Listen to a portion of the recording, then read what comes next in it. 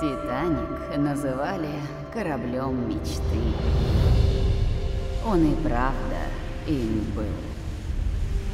Хорошо, открывай глаза.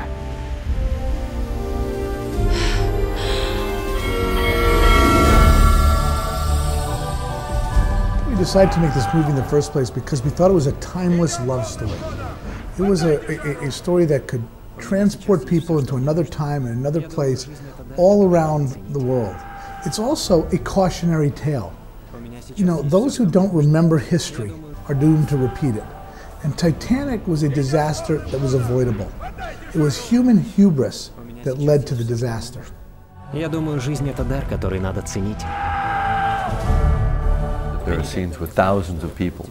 Well, when you convert a film to 3D, you have to outline every single character. It's done by hand, by, by an artist, working pixel by pixel. So some of those scenes were quite labor intensive. But it's also challenging. Sometimes there can only be one person in the shot, and it can be a close up, whether it's Kate or Leo or any of the other actors. And sculpting their face eh, with a moving, you know, frame by frame, moving image uh, is quite challenging.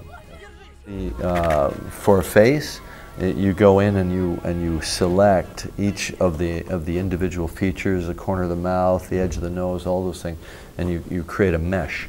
Uh, so they, essentially, they create a sculpture of the face uh, from the image, and it's all done subjectively, meaning the artist has to supply their knowledge of the real world to create depth in the image. Because of course, no depth was recorded at the at the moment of photography.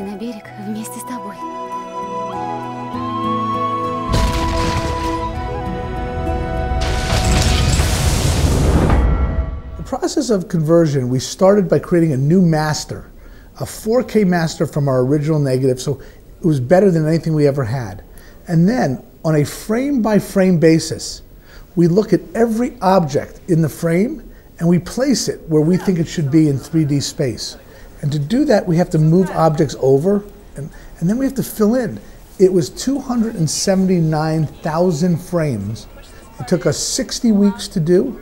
We had 300 people working on it, and we spent $18 million to do it. Just see what you can do. Maybe you pull some roto so you can pull specific light highlights and stuff like that.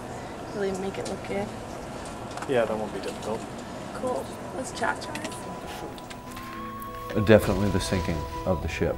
Uh, you know, as the water poured across the deck, we, we had a we had a four-story tall structure that was 250 feet long that could move about uh, 14 meters down into the water, and we had hundreds of extras on board. And then we sank the ship. Guess what happens next? Now you got to bring it back up, dry it all off, dry everybody off, give them new costumes, put them back on the ship, and do take two.